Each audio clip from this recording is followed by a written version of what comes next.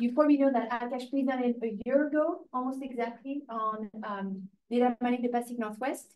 Akash has done a tremendous amount of work, and uh, we know that from before coming here, you already were writing a paper uh, with me. You're very thorough, and so it's very uh, detailed on the feature extraction piece. But what uh, you will see from uh, Akash really big body of work that uh, happened over the past year is a really comprehensive view on machine learning for uh, event classification in the Pacific Northwest.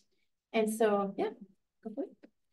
Uh, thanks, Marine, for the very detailed introduction. Um, so, hello, everyone.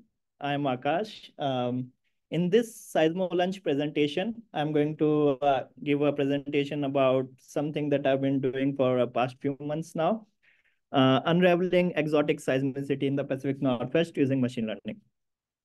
So um, I will start by taking an example of a massive landslide that occurred in uh, in uh, somewhere in the British Columbia region. Um, it's uh, it's located at this Elliot Creek Elliot Creek slide, which is located around 250 kilometer northwest in Vancouver. Uh, this is a massive landslide, and it happened in uh, November 2020. Um, let's uh, look at the location where this happened. In this picture, you see a lake a glacier and a bunch of uh, exposed terrains. And these are highly unstable. Uh, this glacier called Grenville Glacier used to extend all the way until this point. Uh, in the past, uh, past uh, in the last uh, ice age. And due to deglaciation, which is further accelerated by climate change, this glacier is rapidly retreating. And as it's rapidly retreating, it's exposing this uh, unstable rock terrain.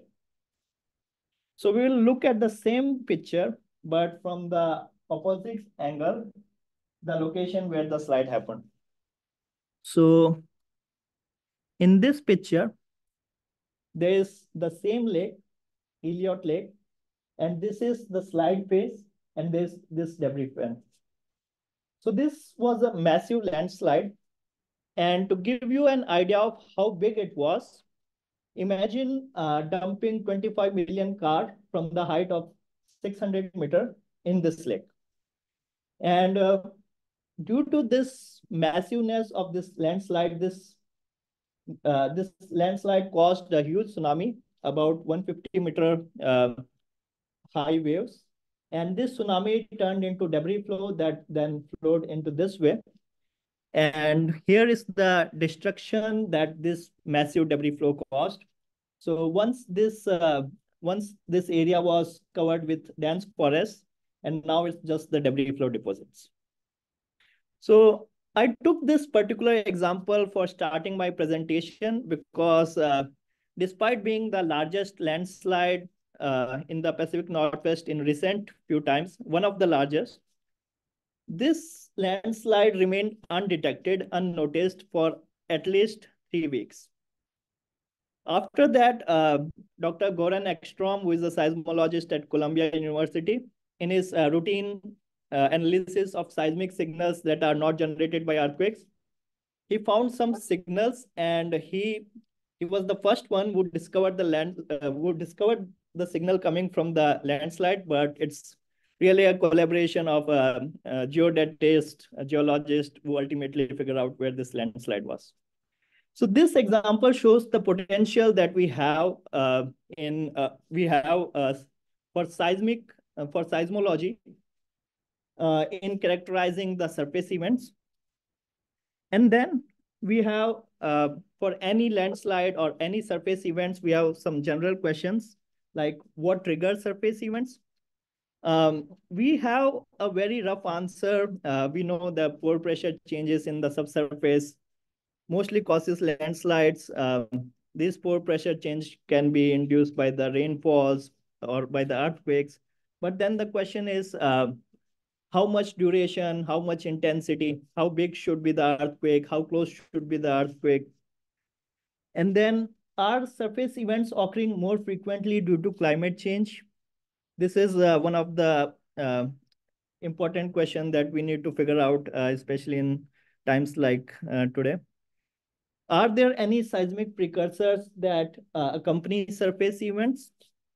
And can we build early warning systems?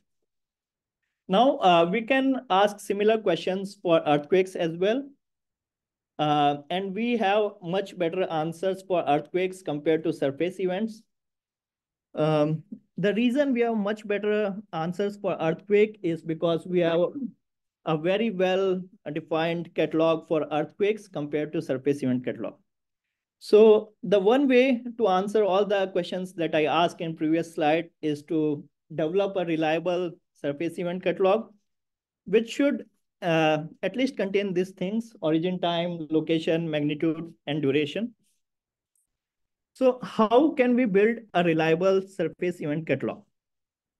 So uh, there can be many ways to do this. The approach that I'm using is based on machine learning. Uh, let me let us uh, look at the current state of monitoring. So the current way by which the uh, exotic events are uh, surface events are labeled in the PNSN. So PNSN uh, mainly focus on earthquake monitoring and surface events are bycatch of that earthquake monitoring.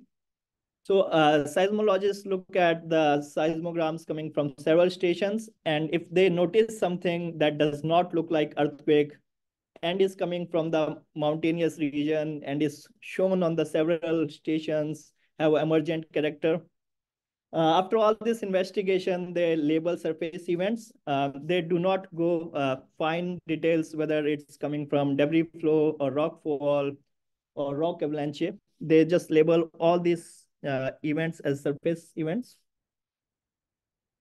Um, so we have, uh, based on this kind of uh, monitoring, we have over 9,000 events in the current surface event catalog that PNSN has developed. And we don't know any other information about this uh, catalog, about the events in this catalog, other than the time of detection. Also, uh, this is the figure from my colleague Yu's paper. Uh, this just shows the temporal evolution of the surface events in the catalog uh, compared with the temporal evolution of the COMCAT events. Now, COMCAT events are the earthquakes and explosions in the USGS uh, event catalog. Uh, one noticeable thing here is the drop in the surface events between the time from 2004 to 2008. Uh, this is because uh, during this time, um, Mount St. Helens erupted um, and uh, seismologists were very busy analyzing the volcanic seismicity and also the the signals generated by surface events may be overshadowed by the signals uh, generated by the volcanic seismicity. But my uh, main point for showing this slide is uh, that we are missing a lot of surface events in this catalog. Uh, this is not a complete catalog. Uh, it's uh, we need to repopulate this catalog. So uh, the approach that I envision could be something like this. So we have waveforms from several stations and we run a continuous window and as this window runs through the uh, waveforms based on its source type, uh, this is what I envision. And how will I achieve this kind of thing? So I will, I'm trying to use the supervised machine learning approach. Supervised machine learning approach can be of two types, um, classic machine learning and deep learning. So classic machine learning, uh, the difference between the two is that classic machine learning involves an intermediate step of feature extraction. So we use uh, the raw data and we extract some sort of uh, characteristics, uh, mathematical descriptions. Um, in deep learning algorithm, the features are extracted as a part of algorithm and we don't know the specific meaning of the feature. It's just all within the algorithm itself. So uh, let's talk about the classic machine learning algorithm. What do we need to develop such a machine learning model? So the first thing we need is a labeled data set. Second thing uh, we need to do is uh, we need to extract features from them. Once the features are extracted, we need to tune our machine learning model. And train our machine learning model. And once the model is trained, we, we will, uh, uh we will uh, test it on the unseen data set and we will get the resulting labels. so let's talk about the label data set for uh, this uh, mission.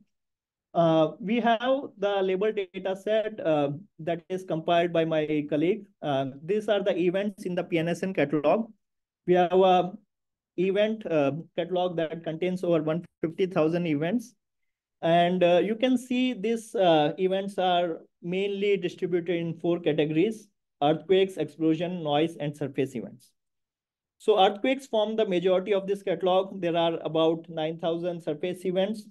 And the noise is compiled by selecting the windows that arrive before the P, P, P arrivals of the earthquakes. So noise is compiled in that way. in the next uh, figure, there's it's the geographical map that shows the extent of the earthquakes, uh, magnitude, and depth. So they are very well distributed geographically and in terms of depth and magnitude. So um, second step is feature extraction, and I will.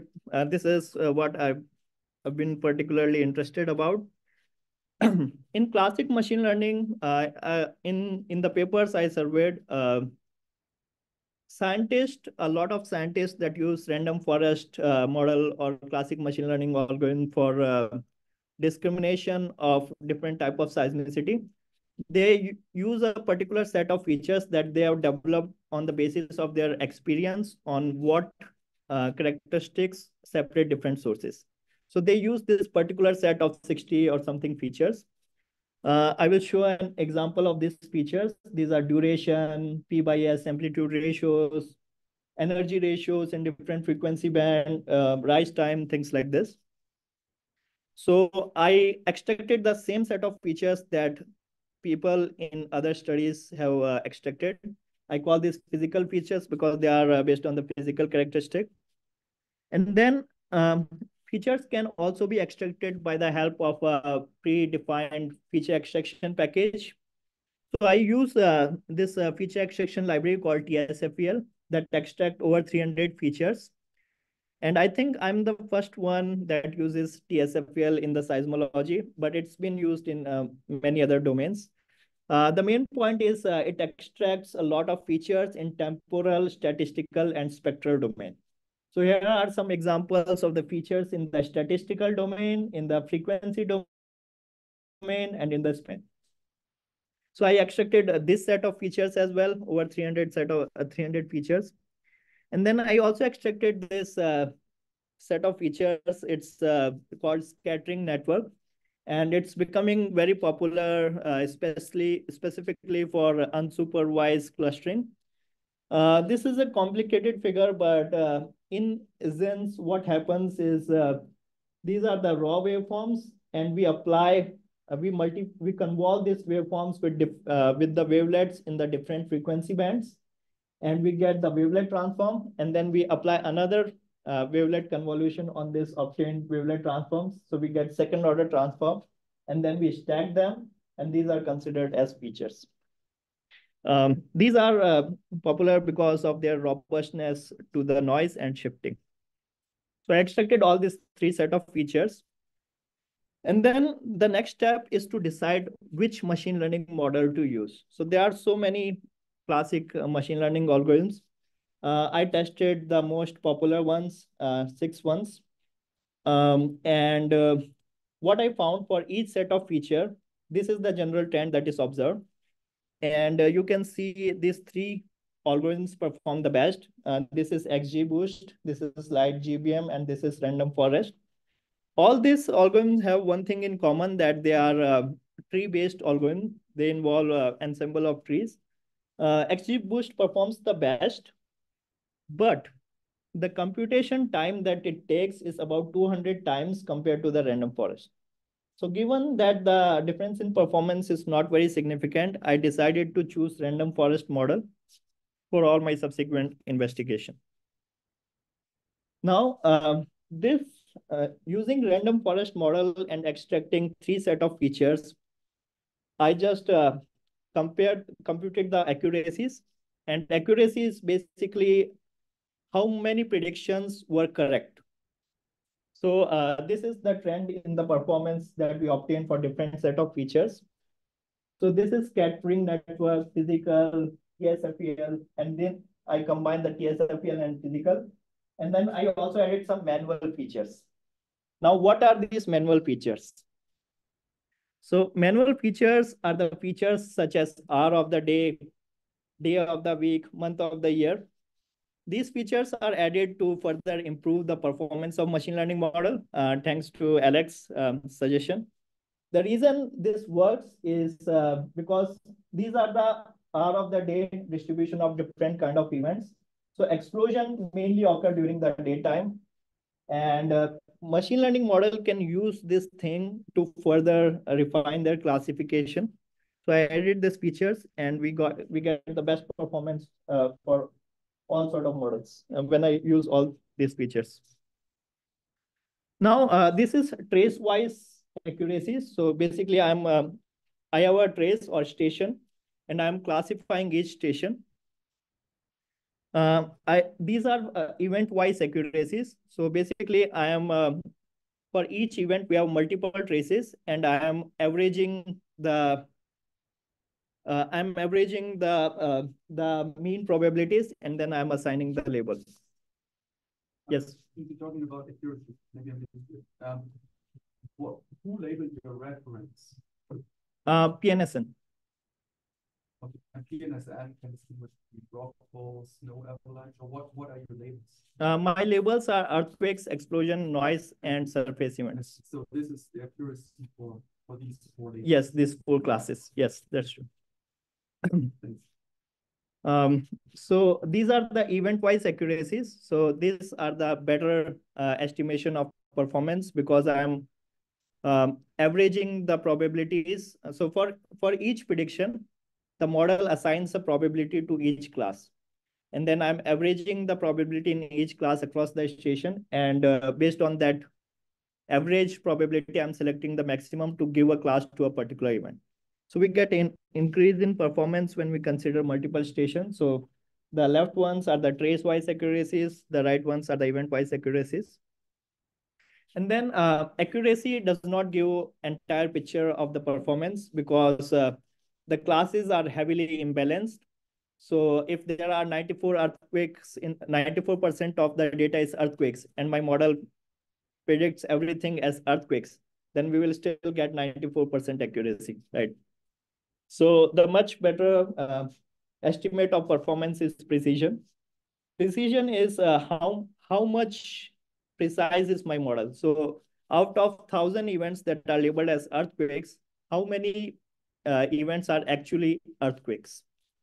So uh, one thing, some things you can notice in this figure, different color represent the precision for different set of features. Precision for explosion is really low around 0.3, 0.4, and uh, same precision for surface events are relatively low compared to the precision for noise and the earthquakes. Another thing is the huge difference in the precision for the physical features and the that have been used in many previous studies and the TSFEL features that have been using in this study. So there's this massive difference, especially in terms of surface events recognition and in terms of noise. Physical features perform slightly better uh, when uh, uh when uh, uh, when considering the explosion, but in other cases they perform worse than the TSFEL features. Now these are the trace-wise precision results. Event-wise precision are much better. They jump to 0.5 and uh, they perform, they jump to perfect one in all the other cases. Um, so the overall conclusion is uh, TSFEL features perform much better than uh, much better than the physical features. And when we consider the results of the several station and when we average them out, we get much better results. Now here's the confusion matrix that shows uh, where the model is confused. So the main confusion that is occurring is between earthquakes and explosion and surface events and the noise. So the diagonal, all the elements should be in the diagonal in this confusion matrix. The uh, this uh, vertical axis represent uh, the labeled events and the horizontal axis, uh, uh, axis represent what my model predicted. So ideally, all the elements should be in the diagonal, but you can see there's a massive confusion between the explosions and the earthquakes, and there is some confusion between the surface events and the noise. And this uh, this shows the feature importance. Um, feature importance uh, by feature importance, I mean the features that were most important in discriminating the different classes. so the ones in the blue are the TSFL features and the ones in the red are the physical features. And uh, they both they both uh, appear in top 50. So it's uh, not entirely that the TSFL feature dominates the feature importance. Both feature sets contribute in classification. And here is the number of features versus performance graph. So I'm basically using uh, cumulative number of most important features and computing the performance.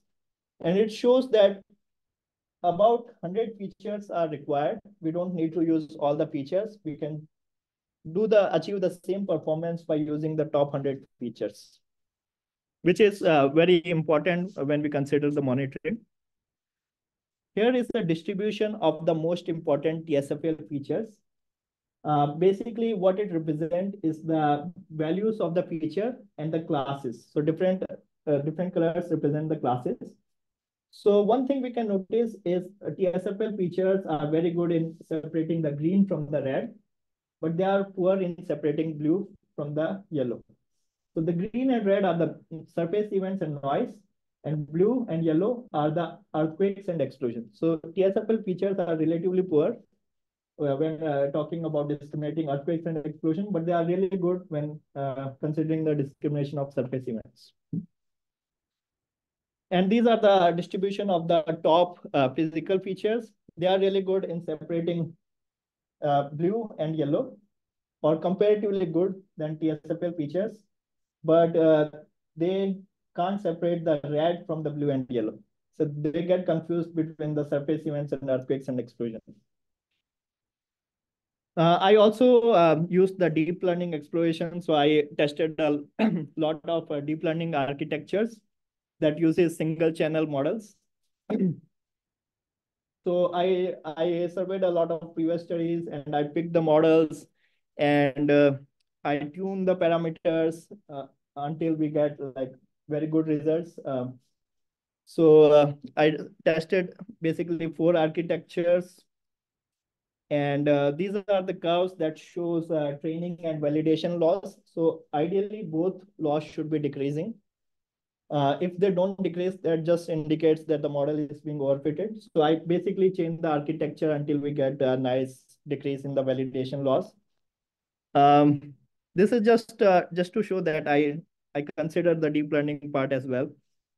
Uh, here is the final graph that shows the performance of the classic machine learning models, the one with the circular dots, and the plane, uh, the, the deep learning models, the one with the plain bar graphs. Uh, these are the accuracies. Uh, usually classic machine learning algorithm based on uh, considering all the set of features perform better compared to the uh, deep learning models. Uh, this is the precision. Um, the classic machine learning has a very good advantage in terms of explosions, in terms of recognizing surface events. Uh, in noise and earthquakes uh, discrimination, they are almost uh, similar performance. now, another use of classic machine learning is that it gives us the ability to recognize potentially mislabeled events in the catalog. Um, the reason that there might be mislabeled events in the catalog could be uh, that a lot of events, they occur in the same place, same region, and they have very similar waveforms. Uh, the reason I consider these waveforms as potentially mislabeled is because my machine learning model, which is trained on all the data set, uh, it classified the waveform with very high probability into other class. That means my model is very confident that they should belong to other class compared to the class they are labeled with. So here are the examples uh, that are labeled as explosion in the catalog, but my model consider them as earthquake. And then we have a probability by which my model considers them as earthquake. Now, uh, here are the misclassified explosions. Now, one interesting thing is these particular waveforms, which I will zoom in here, uh, they are labeled as explosion in the USGS catalog. In the PNSN catalog, they are labeled as earthquake, and my model labeled them as earthquake. Uh, the reason behind this could be that the USGS did not update. Um, Alex might more uh, tell you more about this. Uh, but all these uh, waveforms, we uh, we took these waveforms to PNSN analyst, and they also agree with what my model says. So uh, it's a good way of cleaning the catalog as well. Um, these are the earthquakes that are classified as explosions by my model with high probability. And these are the noise that are labeled as noise, but my model thinks they are surface events even though they may not be surface events, but they are definitely some kind of events other than noise. Um, and then, so I I uh, I defined my catalog. I can I uh, took all these uh, misclassified events that are misclassified with high probability, and I remove this from catalog and I retrain my model. Um, then we get increase in performance.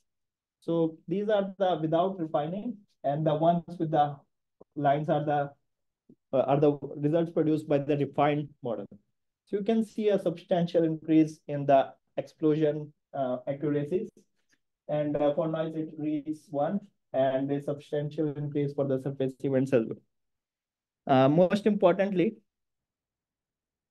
most importantly, when we consider event-wise results, we get perfect one perfect performance for each class when considering their F1 score, which is a, a multiplication of precision and a, a, geographic geometric mean of precision and recall. So we get perfect performance for each class when we train my model with the refined catalog and we consider multiple station in the results. So this is significant. Um, this was my model. It performs well on the data. Uh, we remove the misclassified, potentially mislabeled events. We determine the best set of features. Now it's ready to start action. It's ready to come through continuous data set and start identifying surface events.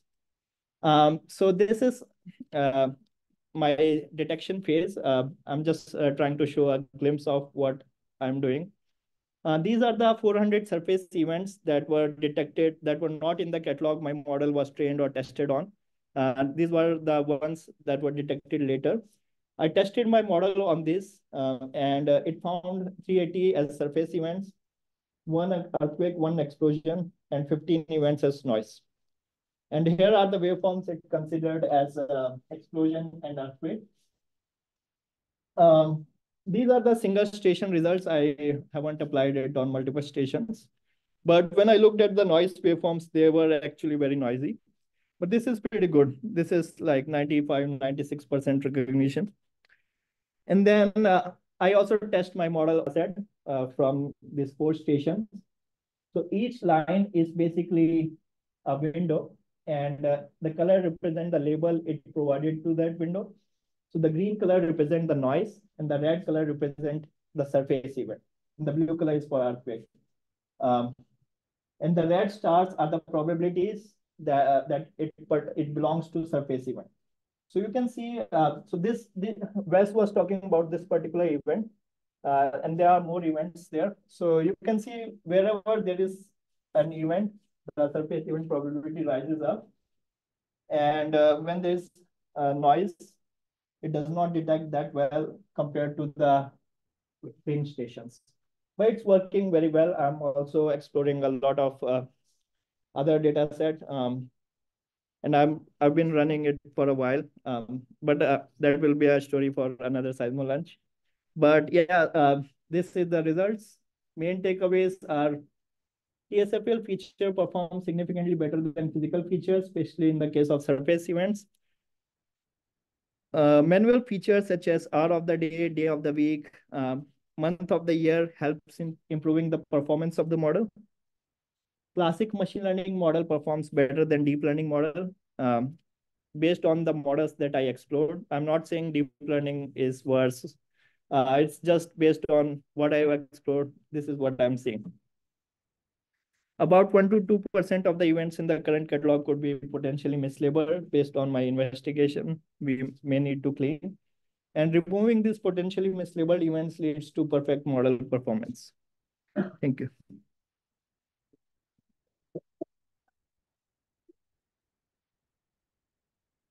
Yes, sir. Um, this was fantastic, thanks. Can you go back to the histogram that showed the, um, uh, uh, which features were most important? And it looked like the first seven were absolute mean or something like that? Yes, yes, yes, yes. Uh, yeah, uh, is that like the absolute amplitude and counts of the trace?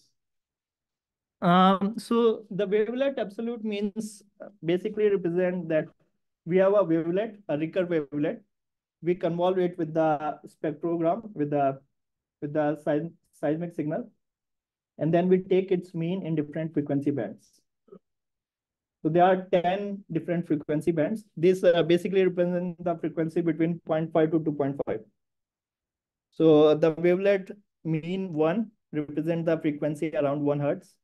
Wavelet uh, mean 10 represent the frequency around 2.5 hertz.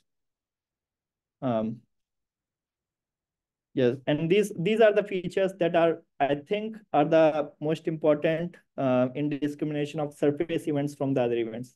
They are good in identifying surface events. Going with this, some of them like mean absolute deviation. That looks like it might be counts. And I was just going to suggest that you might want to consider applying sensitivity to traces before putting into machine learning, which is just a linear scaling of the amplitude, which translates from whatever the native instrument encounters to something mm -hmm. semi-real. Oh. As opposed to doing a full sort of response deconvolution. Yes. You just try applying the sensitivity, which is easy. Yes. Yes. Um, no. I, I just uh, took the raw data set and um, I normalized each data set between minus one to one, but I did not remove the instrument response. Um, yes, I normalize it. Um, I did test it with uh, removing the instrument response, but uh, it's it's tricky. It's tricky. Um, I wasn't getting good results. Uh, I did explore that for a while, trying different uh, deconvolution parameters, uh, but ultimately I came back to without removing the response. But that involves like filtering some fun shapes in the frequency domain, so you might want to try again. I see. Yeah. Yes. Yes. Um, uh, tons of work and great and yeah, service, yeah, so that's all really great. Um, but then if you go back to like your very last video, and you see like your, your predictions as a function of like which window you're in. I, yes. I know you communicated a bunch about this so how to decide, you know, when for example, you can see some probabilities of surface wave or surface event going to almost zero, even though you can the psychologies would say, oh, it's still happening, right? It's still rattling around. Oh yes. Um so, so like that. Yes. Yes. Um that's true. Uh, it's uh, it's something I'm currently actively investigating. Uh, so, for example, this is basically a one big event, but there is noise here. So, what should be the threshold to merge this event and consider as a single event? Like what should be the what should be the maximum difference among the consecutive events in order to consider that as a single event? Uh, that's one thing I'm um, currently investigating. Um, other thing is uh, what should be the minimum probability threshold to consider this as a surface event? Um, what should be the number of stations on which it was detected? To consider it as a surface event. Uh, so I'm, I'm playing around with those parameters and uh, obviously it's uh, still going to absolutely confirm that it's a surface event. Uh, but um, I will, uh, we'll do, uh, we'll do what I, what we can do. And then yeah, I'm also thinking of including the infrasound analysis to further confirm the detections. And there's so other things, and I don't know if you were able to zoom in on some of the other areas on these, this particular time series where the probability goes up. Uh, yes, It just, dynamic range, might they're, you know, so much smaller than that big one, that you can see it. but these ones, right? The initial, Yeah, but you know what? uh, yes, yes. So for this, I'm uh, thinking of the um, uh, duration criteria. That an event should be this big at least in order to consider as a detection. Maybe three windows, four windows. Uh, yeah, but uh, it's it's uh it may be caused by instrument analysis or or or, uh, or gain problem like you said, but uh, uh, one thing since I am using the normalized waveforms for training my model, it's very good at detecting small surface events as well. I'm not saying it's a game problem. Yeah, it might be, it might be. Yeah. Can't see it. Yes. Another thing, and this is petty, but I feel like I have to say it, is there's more students in the room and other users of our catalog. Which is, um, Comcat is an ANSS catalog, so it's not necessarily a USGS. product. Yes. Yes. Um, Yeah, So they, Comcat, they're also from us, we just haven't updated it. Oh, okay. So what we have locally can sometimes be different from the ship. Yes, I see. Just not pet peeve I have. That's true. Yes, Tom. I was wondering about biases in your training data set, because I, I guess in the Pacific Northwest, like surface event are like really clustered I don't know, around the volcanoes. The station network is really clustered around the volcanoes. Um, other stuff happens at other topographic, um, features. Yes. Northwest. Do like kind of, um, and ensure that this is like not overrepresented or so in the Um, data set? I And You're really good at detecting avalanches at Mount Rainier, but not at Mount Baker. Um, yeah, that's a very good question. I, I think um, the surface events are um, that we have in the catalog, they are distributed around St. Helens and Rainier, Baker, some some are from Baker as well. So since I'm using um, multiple stations and I'm not using station specific feature like spatial location or anything, uh, that thing ensures that it's not biased because I'm I'm just uh, using the characteristic of the waveforms. Um, and the noise, noise is sampled all from all the random stations. Um, so the mod the way the model is uh, determining that it belongs to certain thing uh, class is uh, is just by looking at the waveform characteristic. Um, and that uh, that waveform characteristic may may be uh, biased by the noise. Um, uh, but yes, yes, ma'am. So Oh, yes. see this as an insurance process, they can correct, detect further out the station, make sure these are advanced by chicken station. We include that in catalog, and by security, we adding that to start unbiased the station. Yeah. Yeah. I mean. So. I. Well, there's a couple of things. The only labeled events that you're currently using are surface events that were labeled by analysts by, from the PNSN, and which we throw away most of them. We only label some. It totally depends on the person who's looking at it. So it's definitely not a complete catalog. Yes. even close. Two, that most of the surface events are small and the Yes. really big flows are less frequent. So even the frequency content of the ones that we have in our telephone Mm, tend to be the higher frequency ones. mm, So the, the one, the really big ones like the, the one in your opening slides, Yes. probably have a different, they, they have more energy, the Mm. periods as well. Yes. Um, so those are not represented. So, but for me as the network person, I don't really care because for us, the nuisance is those homeless. men. Yes. it's a thing. Yes. I think it does definitely shows like it can be used for Yeah. for- For that. And every operational network that has volcanoes within its region that have ice, rock, you know, this could be useful for them. as.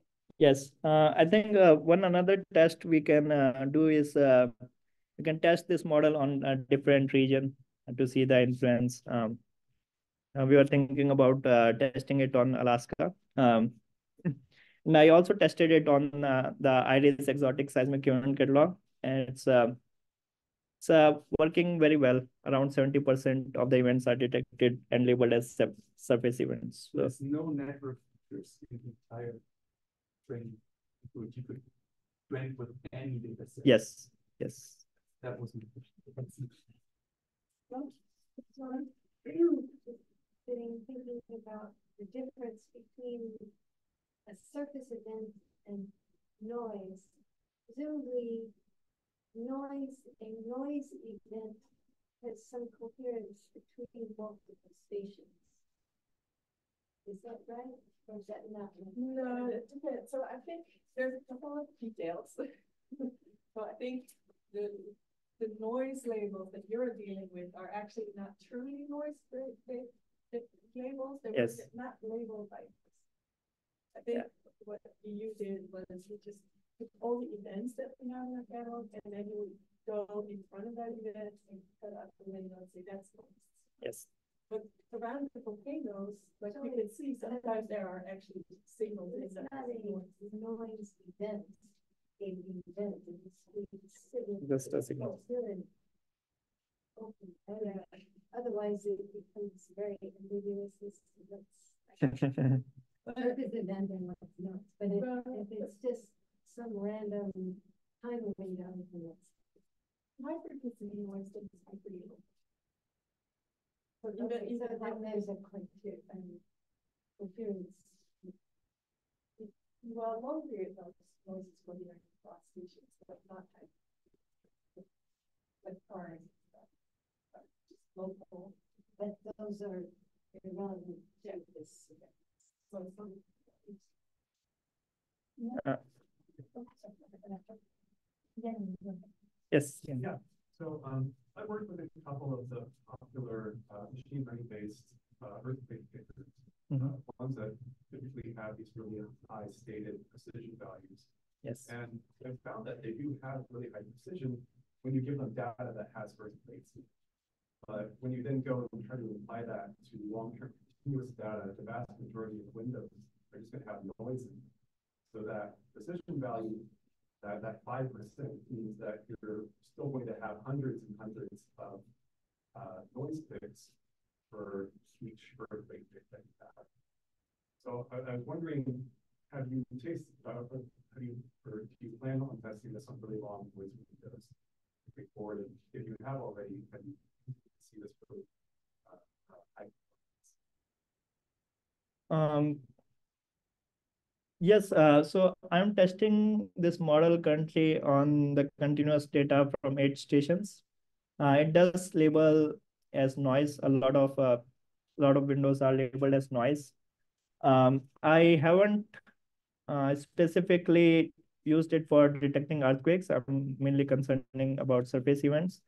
Um, so when I, based on my exp uh, observation until now, uh, it's uh, uh, it's wait, so what was your question? Uh, like more clearly? How does it perform when you're looking at very, very large versus just samples that have landslides?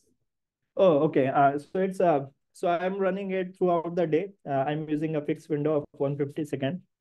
Um, it does label a lot of noise, but it is uh, um, able to recognize all the surface events that uh, I know occurred on that day, uh, based on the verified catalog.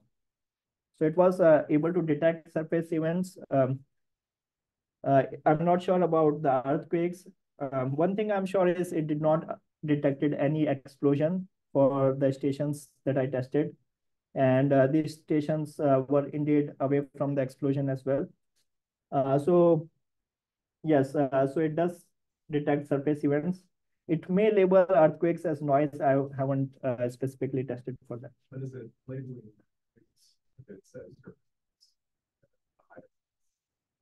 Oh, okay. Um, in uh, in uh, so far I whatever uh, it's detecting, um, it's some sort of event. It's not noise. It's some sort of event. It's uh, it could be uh, th there are certain stations where it's detecting a lot higher surface events, but it's mostly because of the station uh, instability or station thing.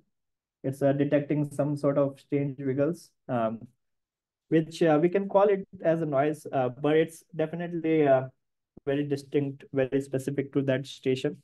But like for normal station with uh, which is uh, present in the good condition, um, it's labeling the surface events as, as it should be. And uh, based on the observation of the waveforms of those surface events, I think they are surface events. They are not, they don't look like noise. Yeah. So getting back to the original motivation, or one of the motivations on, say, climate, Yes. have you noticed any sort of trend change with your new cert? Or are you just not looking at a long enough time span right now? Um, That you can't really tell, like. Yes. Uh, Climatic driver to surface events, right? Um, yes, uh, so I just uh, employed this machine learning model for three months so far. We have uh, we see a pattern uh, for three months based on the precipitation. I haven't um, analyzed this yet. Uh, I'm planning to run it for a longer time, uh, uh, and uh, I'm hoping to see if I can find any correlation with the precipitation. But it's uh, work in progress. I guess one of the, another question is, um, is one of your features the day of the year that you're training? Uh, month of the year. Month. Yes. So it's uh, based on the assumption that surface events show the seasonality. Hopefully, yeah. Good. That's a great work and uh, a a tremendous amount of it, and I think um. It's really the only way we're gonna move forward, and I have a comment more, and it, and it's more for Renate, I think, actually. It, it, let's say that this all works out fantastic the way you want, and the way it seems to be going. Yes. And moreover, you can distinguish between ice quakes and glacier quakes and Mhm. mixed sources on volcanoes, because I think that's ultimately where. we- Yes, yes. Um, but what's clear to me is, I think, that it's, these aren't binary decisions. It's not, it's this kind of event or not. There's a Mm. probability associated. Yes, yes,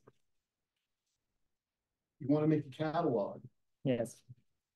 We're not a, have, have you thought, are people thinking about how to include probabilities in catalogs? Because that's, it's not, Well, I don't know, I think in uh, these uh, monitoring networks, we still very much operate under the paradigm that it needs to be human verified. It's like you're officially, like confirmed by a person, yes, this really is the thing. Let me just interrupt to say that we, that we use still probabilistic, thing. we have probable explosions labeled, but they're not quantitative. No, but a human, But a they- human said, I think so, right? I think that we still kind of operate under that paradigm at the moment. So the way I envision this becoming useful is that it um, pre-categorizes events and then the human just says yes, no. Just moves stuff out of categories if they don't agree. So that would always speed things up. Now for us, we might not even really have any use for although the plates, we might still just delete them, right? Um, the bigger debris flows, clearly, um, people are interested in, because they cause hazard, you know, that they are hazardous events. So the bigger items we might really want to know about, even automatically. Right now, we don't have any way to automatically, at least at PNSN, we don't, we don't, is working on systems to automatically detect the flows. But right now, we can only see it after the fact that we look at, after we go and look at records. But we don't have anything that says, hey, this could be a good, good. I think there's definitely use. Within the network or, or who's responsible for. But, um, all the smaller stuff we probably still wouldn't care about, but somebody else might. Uh, it's, it's uh, getting back to this broader life context. Um, uh, the, where these events happen provides also some information about their, uh, the impacts they might have or the likelihood that they are. So, so the next layer uh, of analysis might be to add that back in. You know, Yes. What is the geologic context for this? What is the slopes for this? Is it a volcano? And you have, you know, are there glaciers there? And Yes. really, uh, uh, refine the catalog Mhm. and then back into climate impacts of the events. Yes, yes. Um, Marine, uh, um, Marine, and uh, I am thinking about uh, locating these events, uh, and then we see where these events are located and what are the geographical characteristics, and can we include some sort of geo geological features to further um, confirm these events? So that's a very good thing. There's one more question on Zoom. Yes. Um, If, uh, from John, and John, if you're around, or if they can hear me. He's asking, are there theoretical models for the spectral surface events? Oh, John? can you put your sound? So. I, I'm here. Yes, perfect.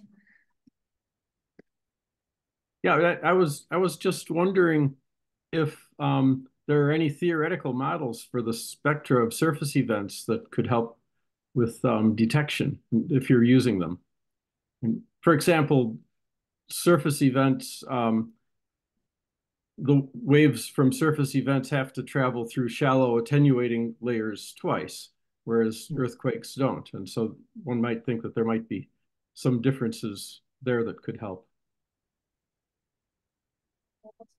Yes, yes. Um, so in this, we haven't considered uh, about theoretical models. Um, people, um, people have uh, used theoretical models to discriminate uh, earthquakes and explosion based on the P wave spectra, P and S energy ratios.